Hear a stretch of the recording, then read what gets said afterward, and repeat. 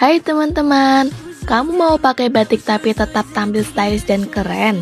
Aku ada rekomendasi surganya batik nih. Di sini kamu dapat menemukan berbagai jenis batik, mulai dari batik cap maupun batik tulis.